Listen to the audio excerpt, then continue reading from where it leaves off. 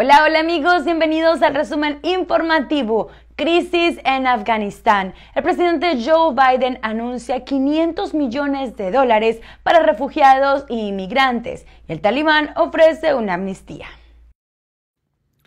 Estados Unidos anunció el lunes 500 millones de dólares en ayuda para los refugiados inmigrantes que tengan que huir de Afganistán, después de que los talibanes desataran una mayor crisis al tomar el poder y ahora anunciasen una amnistía.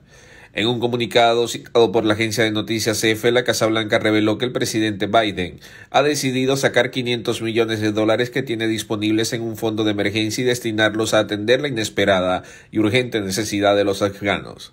Washington dará esa asistencia a los migrantes y refugiados a través de sus agencias gubernamentales, como la Agencia para el Desarrollo Internacional. También ofrecerá esos fondos de manera bilateral a aquellos países que decidan acoger a los afganos. El DHS anuncia programa que beneficiará a indocumentados en riesgo de deportación. El Departamento de Seguridad Nacional anuncia un nuevo programa que beneficiará a aquellos indocumentados en riesgo de deportación.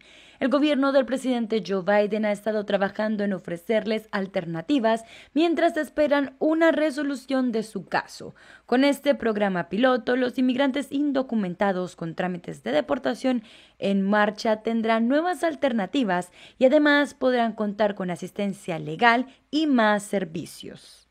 El programa tiene previsto otorgar fondos a organizaciones sin fines de lucro y a gobiernos locales para que ofrezcan los siguientes servicios.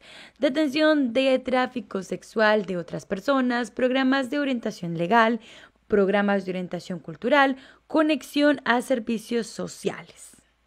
También la tormenta tropical Fred azota sureste de Estados Unidos y deja a miles sin electricidad. La tormenta Fred se debilitó de tormenta tropical a depresión la madrugada del martes a medida que avanzaba tierra adentro, esparciendo fuertes lluvias sobre el suroeste de Estados Unidos, mientras que Haití, dañada por el terremoto, se tambaleaba bajo una lluvia de Grace, una depresión que recuperó el estado de tormenta tropical durante la noche. Fred no ha reportado muertos, aunque se informó que miles de residentes de Florida, Pandale, se quedaron sin electricidad en las horas posteriores a su llegada a tierra el lunes por la noche.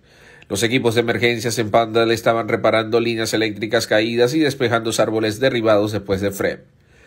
En otro lugar, aviones de reconocimiento encontraron que Grace había recuperado fuerza de un ciclón tropical el martes temprano y estaba arrojando lluvias extremadamente fuertes y causando inundaciones en partes de Haití y República Dominicana, dijo el Centro Nacional de Huracanes de Estados Unidos.